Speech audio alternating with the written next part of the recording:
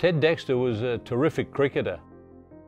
Ted Dexter was an incredibly stylish, uh, cavalier kind of batsman. He was known as Lord Ted, um, partly because he had a sort of slightly lordly bearing, but also because of his the way he imposed himself at the crease.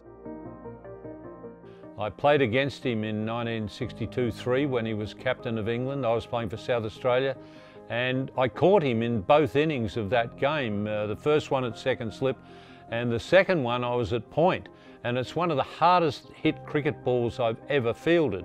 In fact, as I caught it right in front of my face, uh, I looked at my hand and there was a big blue mark on my hand. It would have killed me if I hadn't caught it.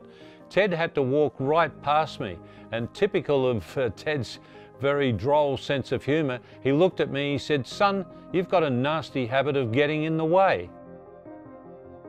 He scored plenty of test hundreds, including a double century in Karachi, but I think the innings that often gets spoken about most with him was uh, an innings of 70 off 75 balls against West Indies at Lords in 63 when he took the attack to a very fine West Indian uh, bowling unit. I think he got about 70 odd on that occasion, but I was forever a Dexter fan after that.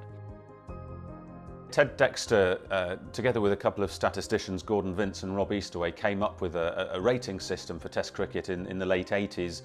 Uh, and in 2003, the ICC adopted that system. It's a system we still know and love today and, and, and still makes headlines. And Dexter himself called it perhaps my biggest contribution to cricket.